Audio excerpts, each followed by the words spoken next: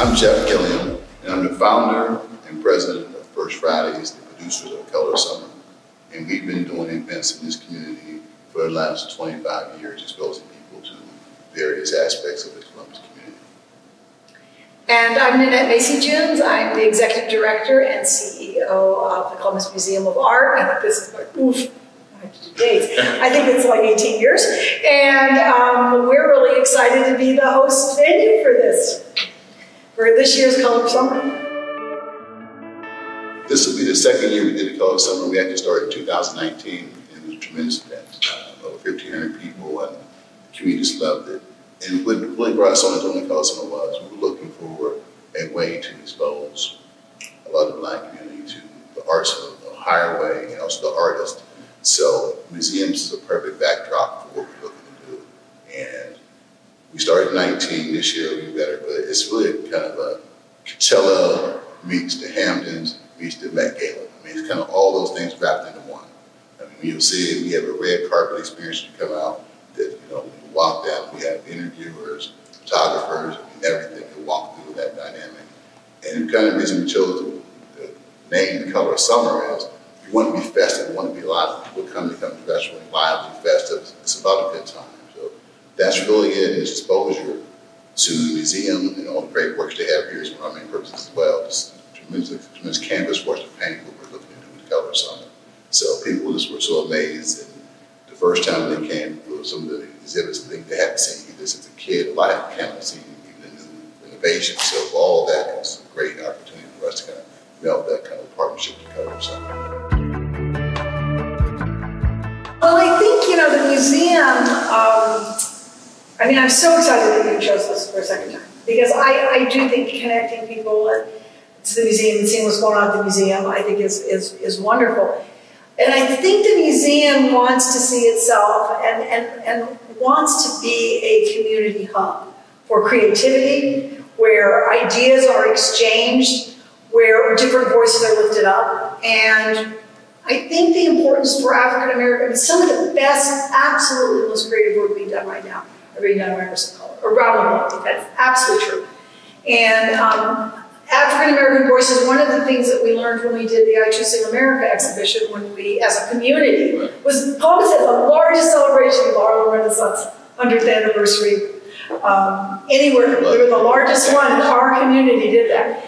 But what we discovered was that uh, for instance, a lot of our young African American artists weren't connecting with dealers. They weren't connecting with galleries, opportunities to sell their work, opportunities for their work to be seen, so that their work is part of that, you know, cacophony of voices that all of that's being done. I, I think that's really important. And of course, for us this year, having um, the event here, of course, because the showcase for us has been Aminah Robinson um, all year.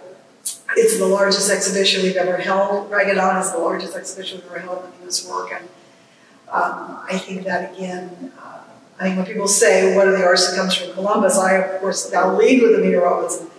Uh, you know, uh, and, you know, Aminah Robinson, George Bellows, Elijah Pierce.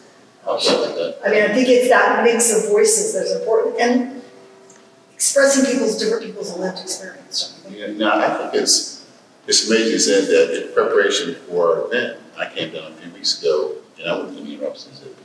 And it, it impacted me almost emotionally. I mean, I, I went through and knowing her, being from Columbus, and knowing her works in general, seeing the breadth and depth of her work and being in that space kind of made a difference. We immediately went back and we actually changed the format of our event that night. We are now going to do a VIP reception surrounded with the Robinson exhibit. That's great. Uh, no, it was just that impactful to our team. We came down, looked at it, are people who know way more about this. When you know about it, but you, you're missing a gem. You, you got a gem sitting right here in your hands. You need to uncover it. So we actually reformatted the early part of our event to include a reception. And we're really doing a big. And this year, I think it's time touching that, we're honoring a person who is a long-term contributor in the arts. And this year's honoree is going to be David P. Barker friend of yours and yes, So, so David is well known within the art community, and uh, he's just been a stalwart throughout decades in art. From art gallery owner to of many boards participated throughout the art community. So this year he's our honoree. And we're actually going to do that as part of our Aminah Robinson uh, VIP reception. So, you know, as you kind of talk about the question, how important is the amplification of this is just tremendously important. You can never, you can never do enough. I mean, you can never do enough. Whatever you've done in the past, you just build on it, do more. And I think the connections that people make, the dynamics that they see in this environment, and we're trying to bring a collective group of people here from all walks of dynamics. So the connections come. They may not come naturally in everyday life. Maybe they come together here in the color of summer and make that more important. So that's why I think it's really important that you continue to strive and work to get the talent tied to the people. The talent is there. They need the people opportunities to be able to exhibit that talent. Yeah, I, you know, I think that um, it is, people come to the Nina Robinson show, they're just, they are blown away. They're just amazed by that. And it is, and watching the conversations that take place in those galleries from people who both come, you know, they come as friends, they come as colleagues, and as family, but also people that just encounter each other in the galleries, looking at a work of art, and these kind of spontaneous conversations that, that kind of percolate up at the museum. It's a really amazing to watch. And, and I do think what you just highlighted with David is that I think a lot of people don't think about that. We need our artists. We need all of our creators, our dancers, our fashion designers, our painters, our dan- our you know, our singers, our musicians. But they need allies and advocates. They need those of us in the creative. I don't know. I can't. I don't know about you. I, I nothing. I, can't nothing. No, no. but what they need from those of us, and things, the kind of event uh, Color Summer does is it advocates and allies of artists and creatives help lift them up and help get more people connected to that conversation. I think that's an important role, and sometimes it's overlooked. And I love that you're honoring David because that's really That, you know, that's that's what he's done a lifetime. on. Yes, yes. Columbus's art culture. You know what? I'm really proud of Columbus. Columbus. That's one of the things I'm most proud about Columbus. I, I, I love how supportive we are of artists, of individual artists, and the work of artists in our community, and how we showcase it. And we showcase it in so many ways. The work of GCAC, the museum. I, I just, and I think we're. I think we're really experimental. I think we're willing to embrace all kinds of. People really you know, trying young artists. I just, I'm really proud of that about us. How we are as a community allies and advocates for artists. Well, I mean, I look at it from different perspective. Obviously, it's not my day job, but over, the years, um, I've been really impressed because doing First Fridays, when we started First Fridays, the goal was to expose people to venues and situations they don't know get exposed to. So, like, we first came to the art museum with our events, probably in the mid '90s, and we then went to uh, COSI and House Stove Society. So I look at the arts perspective, but also I see the ability, or not an ability, the growth and the diversity of it and the inclusion of it. And we're always trying to see how can we grab more, how can we be more inclusive in the arts. And the arts sometimes is, you know, just for lack of a better term, thought to be the arts are for a certain level of people, certain level of Yeah. income and leisure time. But the arts, especially now here, the arts is for everybody. There, there are geniuses creating works at home now and doing things that you never thought of, and that connectivity is there. So we see more and more of we, we socially a lot of times want to be a part of arts. Like this event for us, it took off way more than we ever thought it would. People want to be a part of arts. The artists that we're going to be once again with this event, a silent auction for about 50 to 60 artists. They'll be there and sell their works. The first time That's great. they love it, and we get more requests than we handle. Could it all be a part of it? They won't do it. I would never thought that would be something that I'd be involved in 20 years ago, 10 years ago, but it's evolved. So I think when you look at the arts community from a perspective like myself, kind of outsider that doesn't dabble in it and deal in it, I'm more and more impressed when I see in Columbus. I'm, I'm more and more impressed with opportunities. Because see, someone like me, I need opportunities in the sense of I'm not naturally going to flow to it. I need to naturally see more opportunities. And I, I come to it because I see the opportunities. So I, think from the time I've been doing First to now, it's uh, it's been meteoric as far as the the education level of, of the arts in Columbus.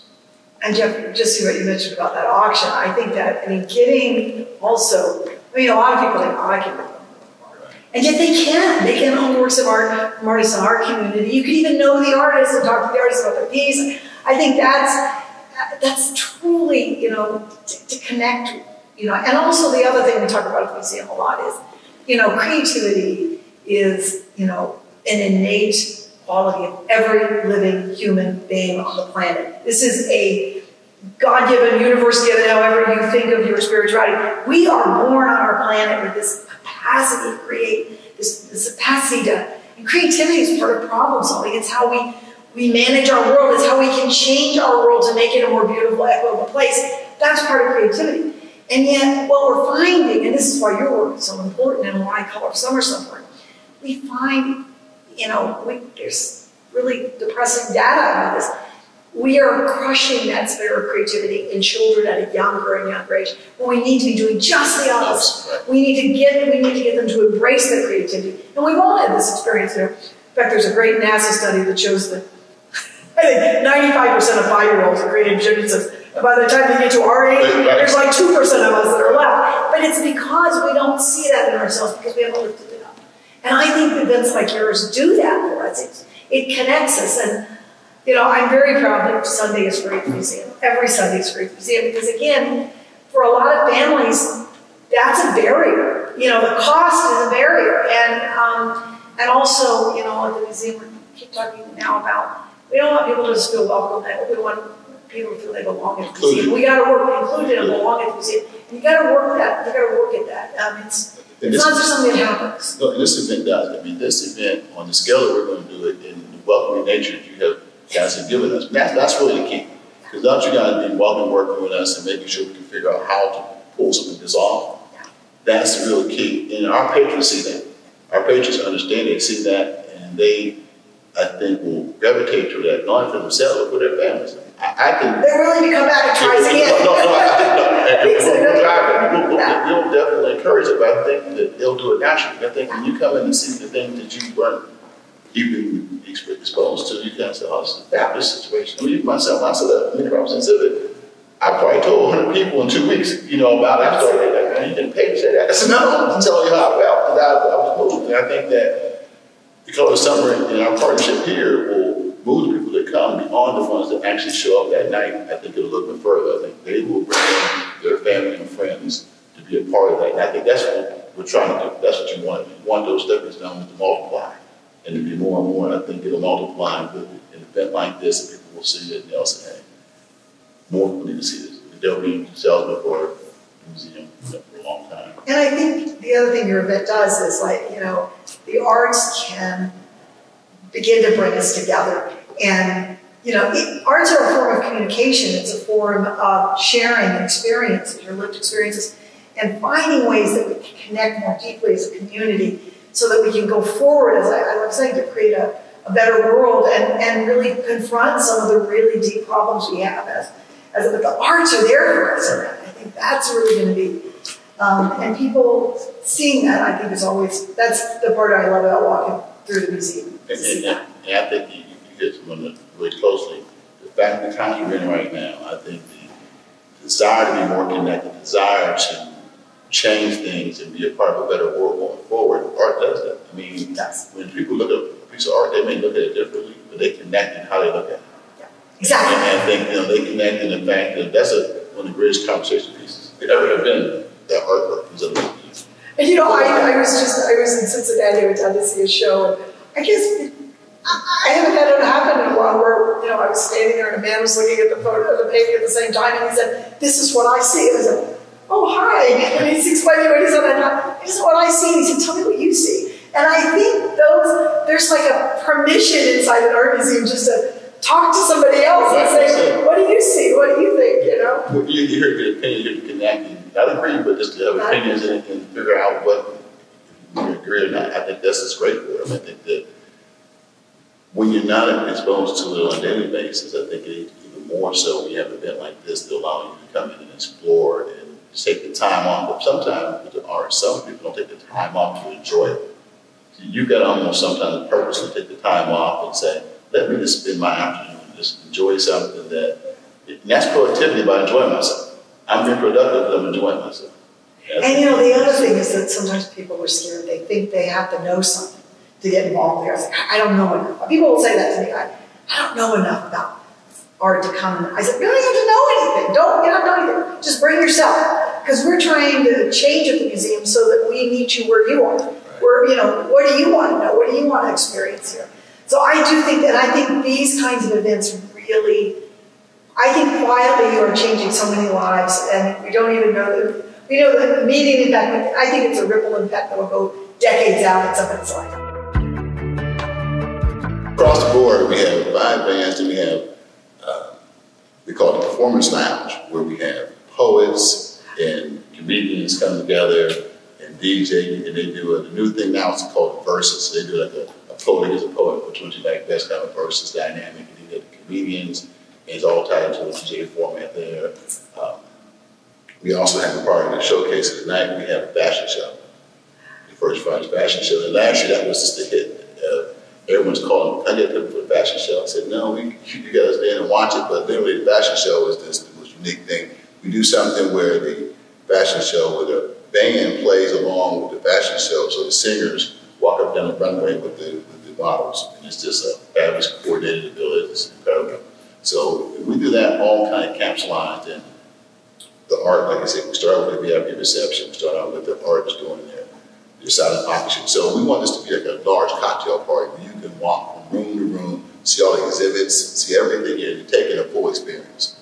And that, that's really what you can you can look to see it. I think that you'll, when you come to the color of summer, you won't see events quite like it because this is such a difference from the visual artists, performing artists, the, uh, it's the eclectic nature of, of, the dress, the food. This year we did something different. We're bringing in um, food stations. There'll be different um, black restaurants around town. They'll have different food stations for tastings around the museum. So that's a new aspect of what we're doing. But it really is it's an experience. It's more experience than a, a party or event. It's an experience and we want to keep growing it every year, keep making it better.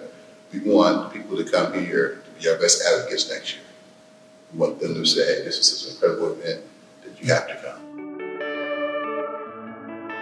And for those of you who want to come to this piece, we get tickets at First Fridays Back to Life.eventbrite.com. And they're on sale now, and uh, they'll be on sale until the event. But it's just a tremendous opportunity to see the museum in great light, to have a great time that Nina Robinson said, if you don't come to that, then you missed your whole life. That, that's half the value right there. You, you gotta stop there first. That way you make sure you can get in and you can see it and enjoy yourself the rest of the night. But it's the whole dynamic. Our partnership with you guys has been tremendous. Well, we're so, we are really honored that you chose us because oh, no. this is just a spectacular event. And I remember the first, I, I just, this is just an extraordinary event and the energy and the creativity that everyone feels that night is just spectacular. And um, I'm just so excited and pleased that the museum is part of it.